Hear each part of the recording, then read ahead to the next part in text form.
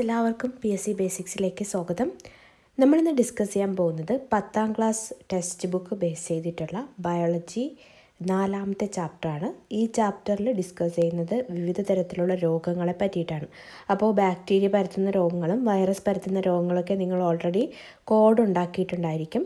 അതൊക്കെ നിങ്ങൾ പഠിച്ച സ്ഥിതിക്ക് ജസ്റ്റ് ഒരു റിവൈ റിവിഷൻ കണക്ക് ഇതിനെ കാണുക.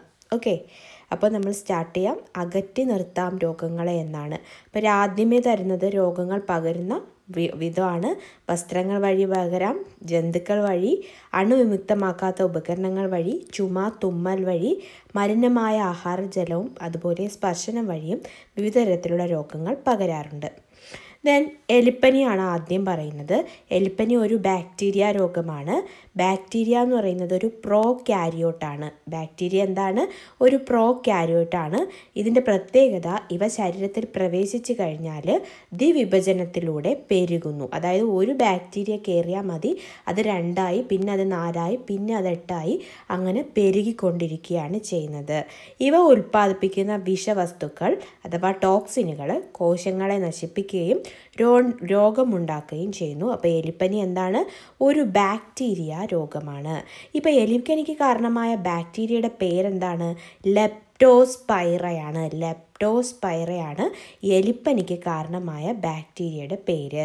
ദെൻ എലികളുടെയും നായ്ക്കളുടെയും പിന്നെ ചില മൃഗങ്ങളുടെയും മൂത്രത്തിലൂടെ പുറത്തെത്തുന്ന ഈ ബാക്ടീരിയ അതായത് ലെപ്റ്റോസ്പൈറ വെള്ളത്തിലൂടെയും ഈർപ്പത്തിലൂടെ അപ്പോൾ വെള്ളത്തിലൂടെ പകരുന്ന ഒരു രോഗമാണ് എന്ത്? എലിപ്പനി എന്ന് പറയുന്നത്.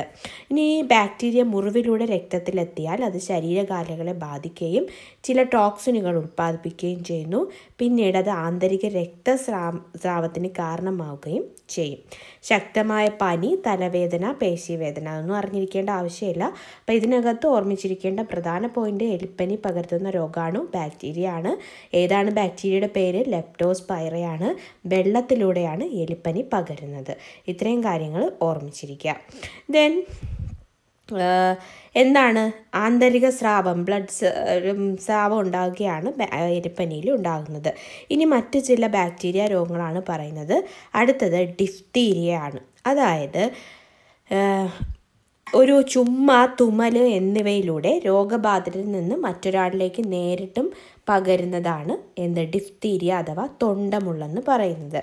അപ്പോൾ ഈ തൊണ്ടമുള്ളെന്ന് പറയുന്നത് മൂക്ക മൂക്ക് തൊണ്ട എന്നിവിടങ്ങളിലെ ശ്ലേഷ്മ സ്ഥലത്തെ ബാധിക്കുന്ന ഒരു രോഗമാണ് ഈ ഡിഫ്തീരിയ കോറിനി ബാക്ടീരിയം ഡിഫ്തീരിയ ആണ് രോഗകാരി. ഓക്കെ അപ്പോൾ രോഗാണു ഏതാണെന്ന് ചോദിച്ചാൽ അത് ബാക്ടീരിയ ആണ്. ആ രോഗാണുവിന്റെ പേരെന്താണ്? കോറിനം ബാക്ടീരിയ ഡിഫ്തീരിയ എന്നാണ്. ഇത് ബാധിക്കുന്നത് എവിടെയാണ്? തൊണ്ടയാണ് പ്രധാനമായിട്ടും ബാധിക്കുന്നത്. ദെൻ ഇത് ഉൽപ്പാദിപ്പിക്കുന്ന ടോക്സിനുകൾ പനി തൊണ്ടവേദന പിന്നെ ഈ കഴുത്തിലെ ലിംബ് ഗ്രന്ഥികളിൽ വീക്കം എന്നിവ ഉണ്ടാക്കുന്നു. ദെൻ ഇത് മസ്തിഷ്കം ഹൃദയ എന്നിവയൊക്കെ അവസാനം ബാധിക്കാറുണ്ട്.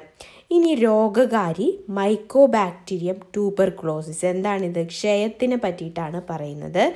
അപ്പോൾ രോഗകാരി എന്താണ്? മാക്ടോ ബാക്ടീരിയം മൈക്കോ ബാക്ടീരിയം ട്യൂബർകുലോസിസ് ആണ്. അപ്പോൾ മറ്റൊരു ബാക്ടീരിയ ഡിസീസ് ആണ് ക്ഷയം. മൈക്കോ ബാക്ടീരിയം ട്യൂബർകുലോസിസ് ആണ് ഇതിന്റെ രോഗകാരി. ഇതിന്റെ ലക്ഷണം സ്ഥിരമായിട്ട് ചുമ ദെൻ ക്ഷീണം അനുഭവപ്പെടുക ശരീരത്തിന് ഭാരക്കുറവുണ്ടാകുക. ദെൻ രോഗം പകരുന്നതാണ്. രോഗി ചുമയ്ക്കുമ്പോഴോ തുമ്മുമ്പോഴോ സംസാരിക്കുമ്പോഴോ രോഗാണുക്കൾ വായുവിലേക്കും മറ്റുള്ളവരിലേക്കും വ്യാപിക്കും. അങ്ങനെയാണ് ഈ മൈക്രോ ബാക്ടീരിയൻ ട്യൂബർക്ലോസിസ് പകരുന്നത്. രോഗം പ്രധാനമായിട്ടും ബാധിക്കുന്നത് ശ്വാസകോശത്തെയാണ്. ശ്വാസകോശത്തെ മാത്രമല്ല വൃക്കകളെ അസ്ഥികളെയൊക്കെ ഇത് ബാധിക്കാറുണ്ട്. ഇതിന് ഇതിന്റെ ചികിത്സ ആന്റിബയോട്ടിക് ഉപയോഗിച്ചിട്ടാണ് ചികിത്സിക്കുന്നത്. ഇത് വരാതിരിക്കാനുള്ള വാക്സിൻ ഉണ്ട്. ഇത് ഏതാണ്?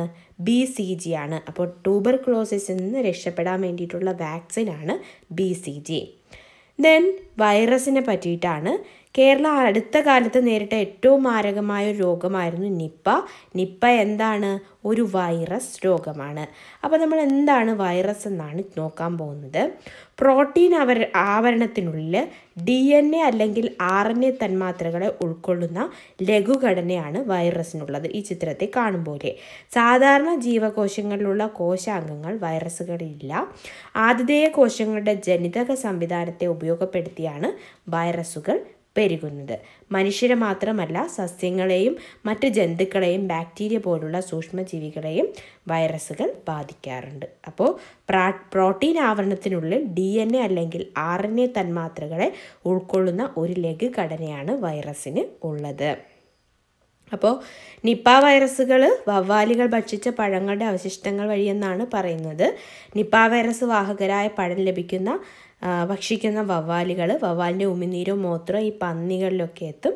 ദെൻ പന്നികൾ അവർ കഴിക്കുന്ന ഈ പഴം നമ്മൾ കഴിക്കുമ്പോൾ എന്ത് ചെയ്യും? നമുക്കും വരും. ഇങ്ങനെയാണ് നിപ്പ പകരുന്നതെന്നാണ് പറയുന്നത്. അപ്പം നിപ്പ ഒരു വൈറസ് രോഗമാണ്. ദെൻ എയ്ഡ്സ് ആണ്. ലോകത്തെ ഭീതിയിലാഴ്ത്തിയ രോഗമാണ് എയ്ഡ്സ് എയ്ഡ്സിന്റെ ഫുൾ ഫോം എന്താണ്? അക്വേഡ് ഇമ്മ്യൂണോ ഡെഫിഷ്യൻസി സിൻഡ്രോ ആണ്. എന്താണ്? അക്വേഡ് ഇമ്മ്യൂണോ ഡെഫിഷ്യൻസി സിൻഡ്രം ഇത് ശരീരത്തിന് രോഗപ്രതിരോധശേഷി നൽകുന്ന ലിംബോസൈറ്റുകളുടെ ജനിക സംവിധാനം ഉപയോഗിച്ച് എയ്ഡ്സിന് കാരണമായ വൈറസ് പെരുകുന്നു. എയ്ഡ്സിന് കാരണമായ വൈറസ് ഏതാണ്? എച്ച് ഐ വി ആണ്. ഹ്യൂമൻ ഇമ്മ്യൂണോ ഡെഫിഷ്യൻസി വൈറസ് ആണ്. ഈ എച്ച് ഐ വി എന്താണ്? നമ്മുടെ ശരീരത്തിന് രോഗപ്രതിരോധ നൽകുന്ന പ്രതിരോധ ശേഷി നൽകുന്ന ലിംബോസൈറ്റുകളുടെ ജനിതക സംവിധാനം ഉപയോഗിച്ചാണ് ഇത് പെരുകുന്നത്. സോ ലിംബോസൈറ്റുകളുടെ എണ്ണം ഗണ്യമായിട്ട് കുറഞ്ഞ് ശരീരത്തിന്റെ രോഗപ്രതിരോധ ശേഷി തകരാറിലാക്കുകയാണ് ചെയ്യുന്നത്. ഈ സന്ദർഭത്തിൽ ശരീരത്തെ ബാധിക്കുന്ന വിവിധ രോഗാണുക്കളാണ് എയ്ഡ്സ് എന്ന അവസ്ഥയെ മാരകമാക്കുന്നത്. അപ്പോൾ രോഗപ്രതിരോധ ശേഷി നഷ്ടപ്പെടും. അപ്പോൾ ഒരു രോഗങ്ങളെ കൊണ്ടുപോലും താങ്ങാൻ പറ്റാതാവും ശരീരത്തിന്. ഓക്കെ? അപ്പോൾ ലിംബോസൈറ്റാണ് രോഗ പ്രതിരോധ ശേഷി നിലനിർത്താനായിട്ട് സഹായിക്കുന്നത്. ലിംബോ എയ്ഡ്സ് ബാധിക്കുന്നത് ലിംബോസൈറ്റിനെയാണ് ബാധിക്കുന്നത്. അടുത്തത് ഹെപ്പറ്റൈറ്റിസ് ആണ് ഹെപ്പറ്റൈറ്റിസ് എന്നാൽ ഒരു കരൾ രോഗമാണ്. അപ്പോൾ ഇത് വൈറസ് മൂലം ഉണ്ടാകുന്ന ഒരു രോഗമാണ് ഹെപ്പറ്റൈറ്റിസ്. കരളിനുണ്ടാകുന്ന വീക്കമാണ് ഇതിന്റെ പ്രധാന ലക്ഷ്യം ലക്ഷണം. അതായത് കരൾ ഉൽപ്പാദിപ്പിക്കുന്ന പിത്തരസത്തിന്റെ പ്രവാഹം തടയപ്പെടുന്നത് വഴി പിത്തരസത്തിലെ ബിലിറുബിൻ എന്ന വർണവസ്തുവിന്റെ അളവ് രക്തത്തിൽ കൂടും. ഇത് ശ്ലേഷ്മതരത്തിലും അതുപോലെ കണ്ണിന്റെ വെള്ളയിലും നഖത്തിലും നൽകുന്ന കടും മഞ്ഞ നിറമാണ് രക്തത്തിന്റെ ഈ ഒരു രോഗത്തിന്റെ ബാഹ്യലക്ഷണം. അപ്പോൾ ബിലിറുബിന്റെ അളവ് രക്തത്തിൽ കൂടുന്നതാണ് ഇതിന്റെ ഒരു ലക്ഷണം എന്ന് പറയുന്നത്. ദെൻ മലിനമായ ആഹാരം ജലം രോഗിയുടെ രക്തഘടകങ്ങളൊക്കെ വെച്ചിട്ടാണ് ഈ ഒരു ഹെപ്പറ്റൈറ്റിസ് രോഗങ്ങൾ പകരുന്നത്. ഓക്കെ. അടുത്തത് താരൻ. മൃതകോശങ്ങൾ പൊഴിയുന്നതിനനുസരിച്ച് തൊക്കിലെ കോശങ്ങൾ തുടർച്ചയായി പുതുക്കപ്പെട്ടു കൊണ്ടിരിക്കും പൊഴിയുന്നതിനേക്കാൾ വേഗത്തിൽ കോശങ്ങൾ വിഭജിച്ചാൽ അവ ശൽക്കങ്ങളായിട്ട് മാറും. ഈ അവസ്ഥയാണ് താരനെന്ന് പറയുന്നത്. ഈ സന്ദർഭത്തിൽ ത്വക്കിനെ ബാധിക്കുന്ന ചിലയിനം ഫംഗസുകൾ അസഹ്യമായ ചൊറിച്ചിലും അണുബാധയും ഉണ്ടാക്കാം. ശൽക്കങ്ങൾ വെളുത്ത പൊടികളായി ഇഴുകി വീഴാനും മുടി കൊഴിച്ചിലിനും കാരണമാകും. അപ്പോൾ അതും ഓർമ്മിച്ചിരിക്കാം. അപ്പോൾ ഒരു തരത്തിലുള്ള ഫംഗസ് ആണ് എന്തെന്നാണ് പറയുന്നത്? ഈ താരനെന്ന് പറയുന്നത്.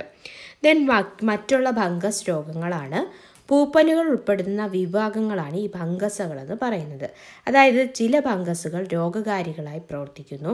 ഇവ ഉൽപ്പാദിപ്പിക്കുന്ന ടോക്സിനുകളാണ് രോഗത്തിന് കാരണം. മനുഷ്യന് ബാധിക്കുന്ന രണ്ട് ടൈപ്പ് എന്താണ് ഫംഗസ് രോഗങ്ങളാണ് വട്ടച്ചൊറിയും അത്ലറ്റ്സ് ഫൂട്ടും വട്ടച്ചൊറിയും അത്ലറ്റ്സ് ഫൂട്ടും ചിലയിനം ഫംഗസുകൾ ത്വക്കിലുണ്ടാക്കുന്ന രോഗമാണ് വട്ടച്ചൊറി അഥവാ റിംഗ് വേം എന്ന് പറയുന്നത്.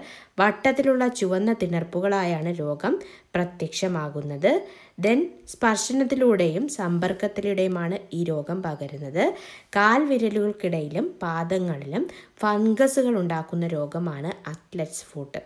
ചൊറിച്ചിലുണ്ടാക്കുന്ന ചുവന്ന ശർക്കങ്ങൾ പ്രത്യക്ഷപ്പെടുന്നതാണ് മുഖ്യ രോഗലക്ഷണം ഓക്കെ. അടുത്തത് പ്രോട്ടസോവ രോഗങ്ങളാണ്. ഏകകോശ യു കാരിയോട്ടിക്കുകളാണ് പ്രോട്ടോസോവകൾ. പ്രോ കാരിയോട്ടുകളാണ് ബാക്ടീരിയകളെന്ന് നമ്മൾ പറഞ്ഞു. അപ്പോൾ ദ്വിവിഭജനം നടക്കാറുണ്ട്. ഇനി പ്രോട്ടോസോവയുടെ പ്രത്യേകത എന്താണ്? ഏകകോശ യു കാരിയോട്ടുകളാണ് പ്രോട്ടോസോവകൾ. പ്രോട്ടോസോവ മൂലമുണ്ടാകുന്ന ഒരു പ്രധാനപ്പെട്ട രോഗമാണ് മലമ്പനി. പരീക്ഷയ്ക്ക് ഒത്തിരി പ്രാവശ്യം ചോദിച്ചിട്ടുള്ളതാണ്. അപ്പോൾ ഓർമ്മിച്ചിരിക്കുക. ദെൻ മലമ്പനി രോഗബാധത്തിന്റെ കാരണമായിട്ടുള്ള പ്രോട്ടോസോവയുടെ പേര് പ്ലാസ്മോഡിയം ആണ് ഈ പ്ലാസ്മോഡിയം പരത്തുന്ന രോഗം വഹിച്ചു കൊണ്ടുപോകുന്നത് അനോഫിലസ് പെൺകൊതുകുകളാണ്. അപ്പോൾ മലമ്പനി പരത്തുന്ന കൊതുക് അനോഫിലസ് പെൺകൊതുകുവാണ്. ഇത് മനുഷ്യനിൽ എത്തിക്കുകയാണ് ചെയ്യുന്നത്. വിറയിലോട് കൂടിയ പനിയും അമിത വിയർപ്പുമാണ് മലമ്പനിയുടെ മുഖ്യ ലക്ഷണം. മറക്കരുത് ഇതൊരു എന്താണ് പ്രോട്ടോസോവ രോഗമാണ് മലമ്പനി. പ്ലാസ്മോഡിയോ ആണ് പരത്തുന്നത്. ദെൻ വിരകളും രോഗികളും രോഗകാരികൾ. ഫൈലേറിയൻ വിരകൾ ഉണ്ടാക്കുന്ന മന്തുരോഗം ക്യൂലസ് കൊതുകുകളിലൂടെയാണ് പകരുന്നത്. അപ്പം ഫൈലേറിയൻ വിരകളാണ് മന്തുരോഗം ഉണ്ടാക്കുന്നത്. ഇത് പകർത്തുന്ന കൊതുകുകളാണ് ക്യൂലക്സ് കൊതുകുകൾ. അതായത് നമ്മുടെ ലിംബ് വാഹികളിൽ വിരകൾ തങ്ങി നിൽക്കുന്നതിനാൽ ലിംബിന്റെ പ്രവാഹം തടയപ്പെടുന്നു. ഇതുമൂലം ലിംബ് വാഹികൾ വീങ്ങുന്ന അവസ്ഥയാണ് മന്തുരോഗം എന്ന് പറയുന്നത്. ദെൻ ഈ മലിനമായ പരിസരമാണ് എന്ത് ചെയ്യുന്നത്? രോഗികളെല്ലാം കൂട്ടുന്നത്. അതിനെ പറ്റിയിട്ടാണ് പറയുന്നത്. ഇനി പകർച്ചവ്യാധികൾ മാത്രമല്ല മനുഷ്യന് പിടിപെടുന്നത്. ജനിതക രോഗങ്ങളും ഉണ്ടാവാറുണ്ട്. അതായത് കോശപ്രവർത്തനങ്ങളെ നിയന്ത്രിക്കുന്ന ജീനുകൾക്കുണ്ടാകുന്ന തകരാറുകളാണ് ജനിതക രോഗങ്ങൾക്ക് കാരണം. ഹീമോബീലിയ സിക്കിൾ സെൽ അനീമിയ തുടങ്ങിയ ജനിതക രോഗങ്ങൾക്ക് ഉദാഹരണമാണ്. ഇനി എന്താണ് ഹീമോഫീലിയ? രക്തം കട്ട പിടിക്കുന്നത് പ്ലാസ്മയിലെ ചില പ്രോട്ടീനുകളുടെ സഹായത്താലാണ്. ഓക്കെ. ഇത്തരം പ്രോട്ടീനുകളുടെ ഉൽപ്പാദിപ്പിക്കുന്ന അല്ലെങ്കിൽ ഉൽപ്പാദനത്തെ നിയന്ത്രിക്കുന്ന ജീനുകൾ തകരാറിലാവുന്ന ഒരു അവസ്ഥയാണ് ഹീമോഫീലിയ.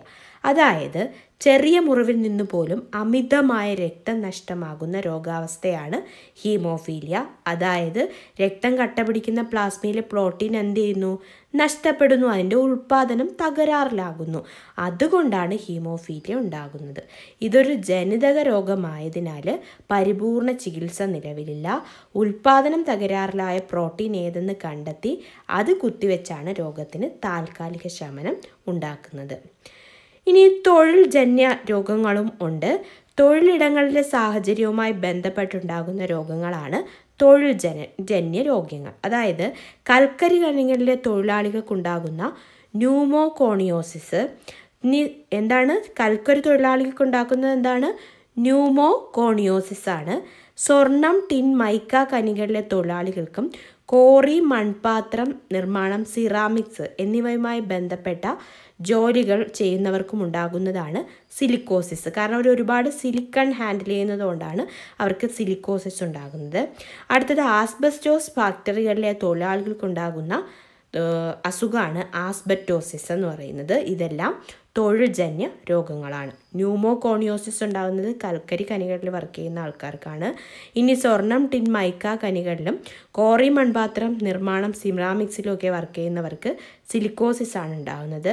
ദെൻ ആസ്ബറ്റോസ് ഫാക്ടറിയിൽ വർക്ക് ചെയ്യുന്ന ആൾക്കാർക്ക് ആസ്ബറ്റോസിസ് ആണ് ഉണ്ടാവുന്നത്.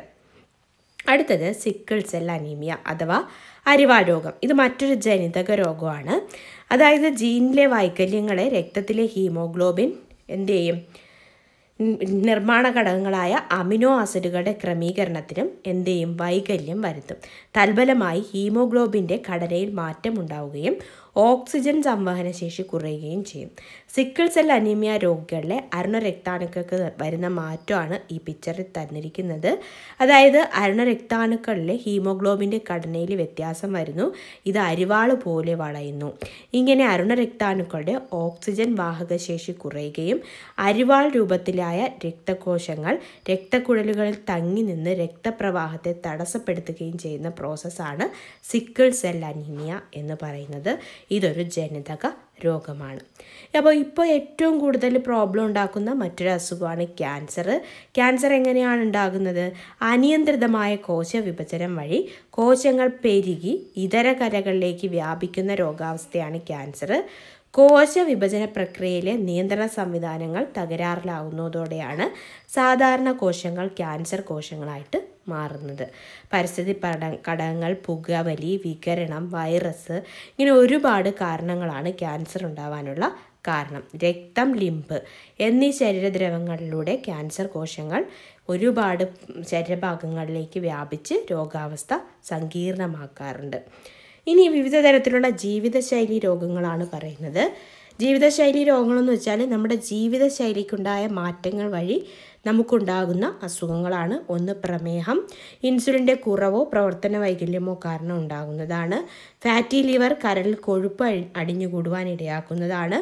മസ്തിഷ്ക മസ്തിഷ്കത്തിലെ രക്തക്കുഴലുകൾ പൊട്ടുന്നത് കൊണ്ടോ അല്ലെങ്കിൽ രക്തപ്രവാഹം തടസ്സപ്പെടുന്നത് കൊണ്ടോ ഉണ്ടാകുന്നതാണ് പക്ഷാഘാതം. കൊഴുപ്പടിഞ്ഞ രക്തധമനികളുടെ വ്യാസം കുറയുന്നതാണ് അമിത രക്തസമ്മർദ്ദം. ദെൻ ഹൃദയത്തിലേക്ക് രക്തം എത്തിക്കുന്ന കൊറോണറി ധമനികളിൽ കൊഴുപ്പടിഞ്ഞ് രക്തപ്രവാഹം തടസ്സപ്പെടുത്തുന്നതാണ് ഹൃദയാഘാതം എന്ന് പറയുന്നത്. ദെൻ പുകവലി മൂലമുണ്ടാകുന്ന നമ്മുടെ ശരീരത്തിന്റെ വിവിധ ശരീരഭാഗങ്ങളെ ബാധിക്കുന്ന അസുഖങ്ങളാണ്. ഒന്നാമതായിട്ട് തലച്ചോറിൽ പക്ഷാഘാതം ഉണ്ടാകും. ദെൻ നിക്കോട്ടിനോടൊരു വിധേയത്വം തോന്നുന്നതും തലച്ചോറിലാണ്. ഇനി അടുത്ത കോളാണ് നമ്മൾ ഓർമ്മിക്കാനുള്ളത്. ശ്വാസകോശ ക്യാൻസർ ഉണ്ടാവാറുണ്ട്. ബ്രോങ്കൈറ്റിസ് എംബിസീമ അപ്പോൾ എക്സാമിന് വരുന്നത് ബ്രോങ്കൈറ്റിസ് ബാധിക്കുന്നത് ഏത് ശരീരാവയവത്തെയാണ്? ഏത് ശരീരാവത്തെ ഏത് ശരീരാവത്തെ അവയവത്തെയാണ്. അത് ലങ്സിനെയാണ് അഥവാ നമ്മുടെ ശ്വാസകോശത്തെയാണ്. എംബിസീമ ബാധിക്കുന്നതും ശ്വാസകോശത്തെയാണ് ബാധിക്കുന്നത്. ദെൻ ഉയർന്ന രക്തസമ്മർദ്ദം ഹാർട്ടിലാണെങ്കിൽ ഉയർന്ന രക്തസമ്മർദ്ദം ധമനികളുടെ ഇലാസ്റ്റികത നഷ്ടപ്പെടുന്നു പ്രവർത്തനക്ഷമത കുറയുന്നു. ദെൻ ജന്തുക്കളിലും വിവിധ തരത്തിലുള്ള രോഗങ്ങളും അത് കാരണം രോഗകാരികളും ഉണ്ട്. അപ്പോൾ ആന്ത്രാക്സും അകിട് വീട്ടുകവും ഉണ്ടാക്കുന്നത് ബാക്ടീരിയ ആണ്. അപ്പോൾ ബാക്ടീരിയ ഉണ്ടാക്കുന്ന രണ്ട് രോഗങ്ങളാണ് ആന്ത്രാക്സും അകിട് വീക്കവും ഇനി വൈറസ് പരത്തുന്ന ഒരു രോഗമാണ് കുളമ്പ് രോഗം മറക്കരുത്. ദെൻ ചെടികളിൽ സസ്യങ്ങളിൽ എന്തുണ്ടാകുന്നുണ്ട്? രോഗങ്ങൾ ഉണ്ടാകുന്നുണ്ട് അപ്പോൾ ബാക്ടീരിയ പരത്തുന്ന രോഗങ്ങളാണ് നെൽച്ചെടിയിലെ ബ്ലൈറ്റ് രോഗം. അപ്പോൾ എക്സാമിന് ചോദിക്കുന്നത് ബ്ലൈറ്റ് രോഗം ഏത് സസ്യത്തിൽ വരുന്നതാണെന്ന് അപ്പോൾ നെൽച്ചെടിയിലാണ്. പാട്ടരോഗം വരുന്നത് വഴുതനയിലാണ്. ഇത് രണ്ടും ബാക്ടീരിയ ഡിസീസസ് ആണ് നെൽച്ചെടിയിലെ ബ്ലൈറ്റ് രോഗവും വഴുതനയിലെ പാട്ടരോഗവും ഇനി കുറുനാമ്പ് രോഗം എന്നത് രോഗം വാഴയിലെ കുറു നാമ്പ് രോഗവും പയർ മരിച്ചീനി എന്നിവയിലെ മൊസൈക്ക് രോഗവും വൈറസ് കാരണം ഉണ്ടാകുന്നതാണ് അപ്പോൾ പയർ മരിച്ചീനി എന്നിവയിലെ മൊസൈക്ക് രോഗവും വാഴയിലെ കുറുനാമ്പ് രോഗവും ഉണ്ടാകുന്നത് വൈറസ് മൂലമാണ്. ദെൻ കുരുമുളകിന്റെ ദ്രുതവോട്ടം ദെൻ തെങ്ങിന്റെ കൂമ്പുചീയൽ ഇതുണ്ടാകുന്നത് ഫംഗസ് കാരണമാണ് ഉണ്ടാകുന്നത് ഓർമ്മിച്ചിരിക്കുക ഓക്കെ അപ്പോൾ ഇത്രയാണ് ഈ ക്ലാസ്സിൽ ഡിസ്കസ് ചെയ്യുന്നത്. ഇത് നിങ്ങളെല്ലാം ഓൾറെഡി പഠിച്ച കാര്യങ്ങളാണ്. ജസ്റ്റ് ഒന്ന് റിവൈസ് ചെയ്യാനായിട്ട് ശ്രദ്ധിക്കാം. ഓക്കെ അപ്പോൾ എല്ലാവർക്കും all the best and thank